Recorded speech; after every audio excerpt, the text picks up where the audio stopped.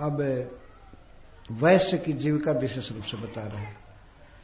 कृषि, वाणिज्य, गोरक्षा, कुशीदम, तुर्जमुच्यते, वार्ता चतुर्विधा, तत्र वयम गोवृत्तो निशम कृषि, वाणिज्य और गौओं की रक्षा, ये तीन जीविका के साधन है वैश्यों के लिए।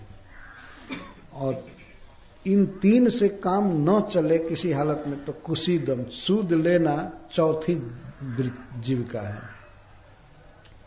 कुशीदम तुर्ज उचित सूद लेना, इसको चौथी वृत्ति कही गई है, सूद लेना बहुत अधम जीविका है। वो पाप खाने के बराबर ही है वास्तव में। इसलिए इसको तुर्ज, चौथी वृत्ति कहा गया है। कृषि कृषि यदि अच्छे ढंग से होगी तो सारा संसार सुखी रह सकता है। पर्याप्त अन्न उत्पन्न हो, फल उत्पन्न हो, सब्ज़ियाँ उत्पन्न हो, और गोरक्षा गायों की यदि रक्षा होगी, सुरक्षा तो उसे पर्याप्त दूध, दही, घी आदि होगा, जिसकी बहुत ज़रूरत है इस संसार में। पर आज के युग में कोई गोरक्षा करने वाला नहीं है। गायों की हत्या करने वाले जन जन भरे पड़े हैं, लेकिन रक्षा करने वाले नहीं ऐसा वास्तव में मनुष्यों ने कर दिया। गायों के पोषण के लिए न घास रहा, न वृक्ष रहा, कुछ नहीं। गाय रखना भार हो गया। मशीनरी ने ऐसा काम बिगाड़ा, ट्रैक्टर आदि ने, कि बैलों की कोई कुछ ही नहीं है। लगता है कि उनको जीने का कोई अधिकार नहीं है। उनका कोई उपयोगिता नहीं उनकी। पहले हम लोगों के होश में लोग बैल रखते थे, कितना प्यार से अच्छा से खिला पिला आज बैलों को लगता है कि इस दुनिया में जीने का कोई हक ही नहीं है, क्योंकि उनके लिए कोई काम नहीं है।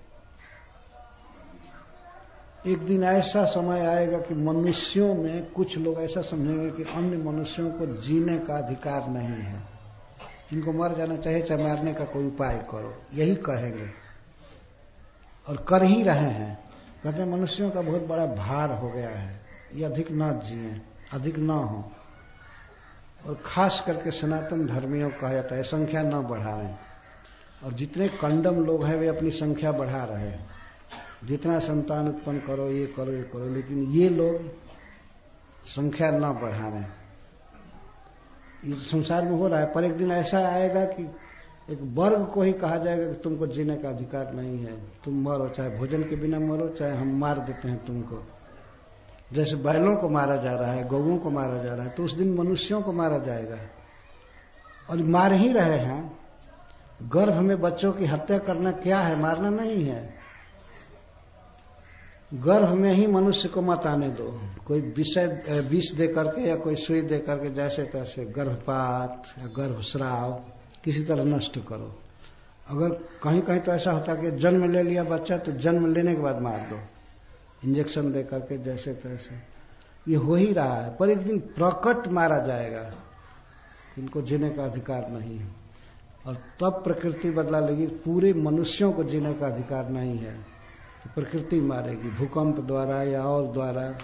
अति वृष्टि अति अति गर्मी, भूखमरी होगी। और ये दशा आएगी भागवत में लिखा गया है। बहुत दुर्दशा होगी। और इस दुर्दशा का मूल कारण है गौओं की असुरक्षा। गायों पर ध्यान नहीं है बिल्कुल। इतना लोगों ने महँगा कर दिया सब चीज़। भूसा महँगा, पुआल महँगा। पुआल पहले बैलों के खुर से नरम हो जाता था दौड़ी करने से। अब ट्रैक्टर से दाया जाता है। पशुओं को खाने में कितना कठोर पड़ता है, लेकिन क्या करे? किसी तरह से भूख की ज्वाला शांत कर रहे हैं, खा रहे हैं। हरी हरी घास देखने को नहीं मिल रही है। गौओं की रक्षा नहीं होगी तो मानव की रक्षा नहीं हो पाएगी। मनुष्य को मरना पड़ेगा ऐसे ही। तो यह वैश्य का धर्म है कि गोरक्षा करे गौओं की संख्या बढ़नी चाहिए, समृद्धि होनी चाहिए और कृषि और व्यापार।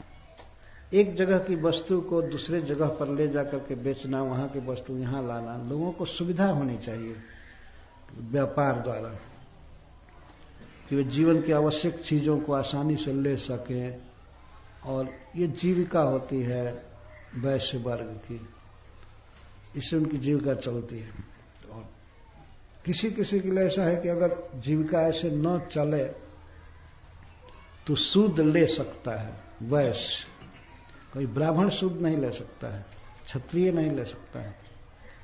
वैश्य को सूद लेने का अधिकार है, लेकिन किस स्थिति में? जब ये तीनों वार्ता फेल हो जाए तब।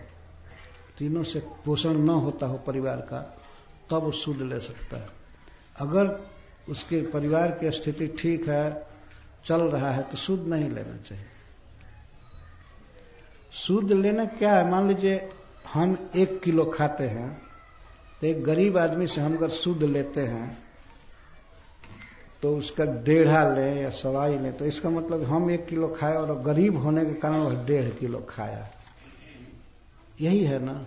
जब हमको सामर्थ्य है तो हम कम खा रहे हैं और उसको सामर्थ्य नहीं है बेचारा दिनहीन है तो वो इतना खर्च कर रहा है। तो कैसे सुधरेगा उसकी जीविका? कैसे चलेगी? अच्छा से नहीं रह पाएगा। तो इसलिए शुद्ध लेना इसको हराम का पैसा कहा गया है। बहुत कंडम चीज़ है। और ऐसे व्यक्ति को की बहुत दुर्गति होती है।